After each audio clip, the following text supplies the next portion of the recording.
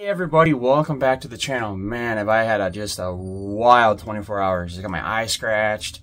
My dog is just going nuts over this morning. I got a bunch of stuff I got to get done, and I thought, you know what? What what, what better time than now would be to come on and give a message. I love it, and that's what that's is what recovery is all about. So I posted the 24 hours a day reading, but I wanted to come on and give it to you in person. Okay, so liquor used to be my friend. I used to have a lot of fun drinking. Practically all the fun I had was connected with drinking. But the time came when liquor became my enemy. I don't know uh, I don't know just when liquor turned me, against me and became my enemy, but I know it happened because I began to get into a lot of trouble. And since I realized that liquor is now my enemy, my main business now is keeping sober. So I realize uh, making a living or keeping a house is no longer my main business. It's secondary to the business of staying sober. So today I depend on God to supply me with all the power I need to face any situation, provided that I will sincerely believe in that power and honestly ask for it.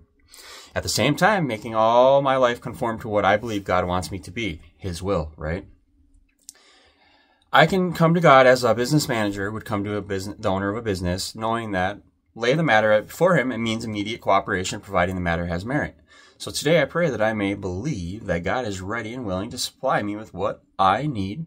And I pray that I may ask uh, only for that faith and strength to meet any situation that we come up against. God bless you guys. Love you. Stay the stay the course. Stay the fight. Be inspired. Be encouraged. Be blessed. Be safe and sober out there. And if you need anything, reach out. I just want people to know that I have answers that have helped me in my recovery and have allowed me to stay sober, but that doesn't mean I have the answers for everybody else. If you guys want to tag along and, and, and, and pick up what you can, that's great. So like, share, and stick around, and I can't wait to see you guys next time.